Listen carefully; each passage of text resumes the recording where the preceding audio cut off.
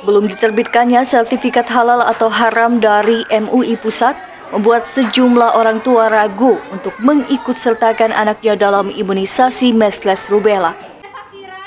Isu vaksin yang dapat berdampak buruk pada kesehatan menambah keraguan orang tua untuk mengizinkan anaknya disuntik imunisasi. Seperti yang terjadi pada orang tua murid di SD Negeri Mabuun, salah satunya Ririn yang menolak anaknya untuk diimunisasi. Dirinya mengaku masih belum mendapat kepastian akan status imunisasi yang belum mendapat sertifikat dari MUI tersebut. Ririn khawatir jika diberikan imunisasi MR akan terjadi hal buruk pada kondisi anaknya.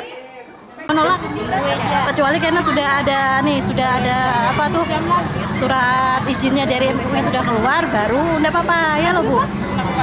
Kalau belum nih kan masih kayak gini kan masih pro sama kontra, pro kontra, ini kan takutan kan. Senada dengan Ririn, Susana mengaku status kehalalan imunisasi yang masih belum bisa dipastikan membuat dirinya ragu untuk memilih imunisasi anak atau tidak. Ditambah lagi dengan isu yang beredar di media sosial tentang kejadian buruk pasca menerima imunisasi ini, membuat dirinya semakin takut untuk mengizinkan anak diimunisasi.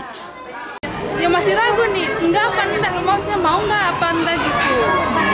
Ya ada rasa takut karena dengan isu-isu ada yang lupu lah, ada yang mati. Masih ragu nih, enggak apa enggak, maksudnya mau enggak apa enggak gitu. Bingung kita. Meski demikian, tidak semua orang tua menolak pemberian imunisasi ini pada anaknya. Banyak pula orang tua yang menganggap vaksin MR sebagai bentuk pencegahan dini untuk anak terhadap bahaya penyakit campak dan rubella. Bu, anaknya diizinkan untuk imunisasi ya bu ya? Diizinkan nggak apa-apa. Alasannya bu, kan itu ada yang kan untuk pencegahan. jadi setuju-setuju aja ya bu ya? Tujuh aja. Imunisasi measles rubella ini menyasar usia anak 9 bulan hingga kurang dari 15 tahun. Imunisasi ini dilakukan berdasarkan persetujuan orang tua. Sebelumnya, Dinas Kesehatan Tabalong telah memastikan imunisasi ini aman diberikan bagi anak-anak. Purnamasari TV Tabalong melaporkan.